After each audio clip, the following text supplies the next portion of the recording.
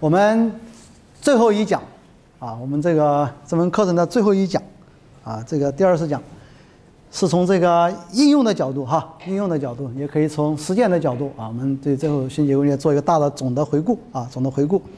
这个我们前面介绍了很多理论，对不对？我们讲检验理论的啊，唯一标准，那真的是实践啊，真的是实践。好。这个新结构经济学，呃，整个理论体系啊，这个是我们大家全部过了一遍，对吧？从基本的这个中心思想十大原理，到我们介绍了多少个领域，对不对？啊，各个领域啊，我们基本上是重构了一遍啊。现代主要经济学的这些领域里面呢，我们把结构的视角全部引进来以后，啊，会有哪些新的不一样的看法，对不对？还包括一些新的政策主张，然后也跟大家介绍了大量的这个现实世界的这些真实的案例啊。啊，并且啊，我们每基本上在前面这些章节讲的时候啊，我也最后跟大家归结到一些什么实践方面的，对不对？比如金融，我们该怎么去啊？这个根据自由金融结构这种原理啊，怎么去做解读国家的啊，甚至相应的地方的这些实践，对不对？啊，各个领域我们实际上都已经接触过了啊，接触过。那这一讲的话啊，主要是跟大家讨论啊，我们把这经过新结构学一些原理应用到现实世界，哎，解决一些具体问题，对吧？啊，然后。秉承新结构就讲的这种自成一体的这种哲学啊啊，大家时刻记住啊，这个认识世界啊，我们有很多种这个这个观念，对不对？很多理论啊，我们讲只要理论上讲啊，只要有一种理论存在，那就必然会有多少无数种理论，对不对？啊，模型也是这个样子，你有一个模型啊，解释一个世界，那对应的其他很多模型啊，竞争性模型啊啊。说这从从这个社会科学来角度来讲的话啊，那自然科学就很简单了，对吧？你做实验室里面去看啊，它实验结果对不对？啊，能不能够这个预测你的这个这个理论预测很简单。那社会科学来讲的话，我们讲认识世界啊，这个看上去啊，这些传统的很多理论都头头是道，对吧？逻辑上都比较自洽的啊，但是呢，它能不能够真正呃帮助人们？我们讲改造好世界，对吧？只有那些真正帮助啊人们改造好世界的一些理论了啊，才是真正能够认识世界的理论啊，认识世界理论。这个这一讲的话，主要是讲应用啊，我们就要看看这些应用研究，对不对啊？跟前面这些这个基础研究啊，我们讲应用研究啊，尤其是与这个政策相关的啊，那就是跟我们待会儿会讲的，也是最近啊国家特别这个提倡的这个智库研究啊，这个智库实践有什么关系，对吧？啊，有些关系。然后这个介绍一些啊，这个重点介绍一下这个。新结构经济学这些应用啊，这些工具对吧？应用工具，然后再好介绍一下这些应用的场景啊啊，注意啊，这个是应用的场景啊，不仅仅是应用的案例啊，应用的一些场景对吧？应用的一些场景啊，主要是介绍这个在国别层面上，在地区层面上面啊，这个还有那些微观的企业层面上的应用的一些场景啊。那具体领域的一些应用，前面我不是说每一讲我们都有所涉猎，对不对啊？每一讲都有所涉猎啊，比如金融领域的啊，这个金融的这个。供给侧结构性改革那些报告，我们群里面也有，对吧？那我们这个啊，教育啊，方方面面的啊，每个领域的我就不详细介绍。那主要是介绍这几个应用的场景啊，介绍最主主要的几个应用的场景。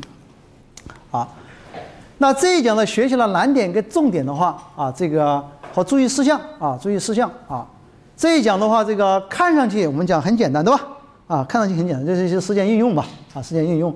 但是只是要要把握好，这个是非常我我个人认为这个难度是非常高的啊。难度是非常高的啊！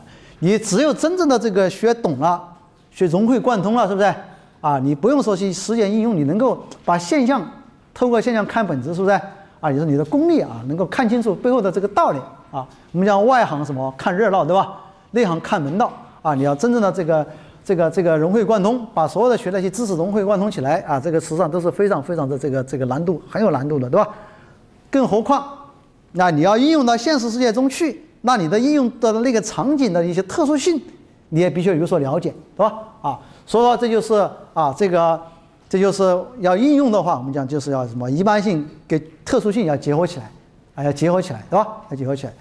这你们可以看看我们那个毛主席的那个叫什么《思想论》，对吧？啊，我建议大家可以去看看啊，那里面都讲的非常棒，怎么把马克思的基本的一些原理啊，跟那些具体的应用场景结合起来搞革命，对吧？啊，那实际上是非常精彩的啊，包括小平的那些著作，对吧？啊，怎么来搞建设啊？那些是啊，具体的一般原理跟具体的应用。我们讲马克思的这个历史唯物主义辩证法活的灵魂啊，在应用这个上面上，那就是具体问题啊，具体分析，对吧？啊，具体问题啊，具体分析啊。我在矛盾这种普遍性原理下面，对吧？你怎么分析它的特殊性啊，并为找找到这种啊，抓到抓，并且还要抓主要矛盾啊。解决这种矛盾的正确的方法，对吧？所以你要根据啊不同的问题情况不同，采取的措施也就不同，对吧？不能一概而论啊，不能一概而论啊。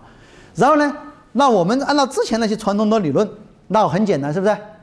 我基本上就可以头头是道跟你说一大堆，我都不知道你长啥样，我都给你给你说得出来，对不对？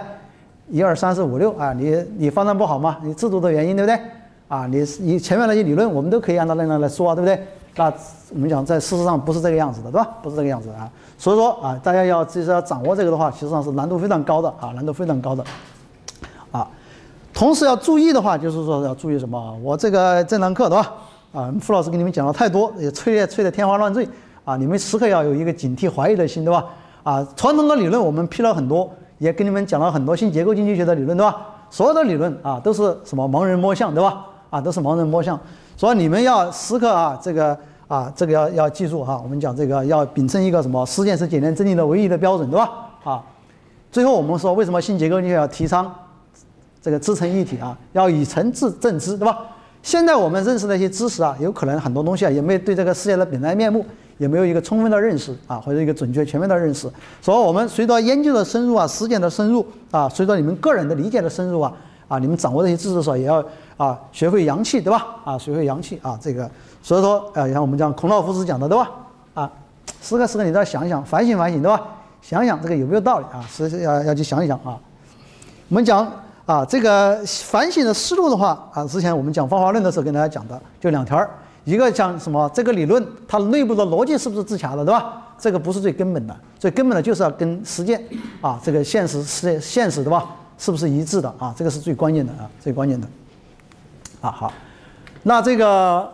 主要的话就是介绍这些内容，是吧？主要的就是这个啊，新结构经济学你要应用啊，这种应用的两个方面，一个是应用工具啊啊，这个应用的工具，二个是应用的一些场景啊，跟大家做一个这个概括性的介绍啊，概括性的介绍。那最关键的了啊，当然是前面这个，对吧？新结构经济学提倡的这种新的学风啊，支撑一体的新学风啊，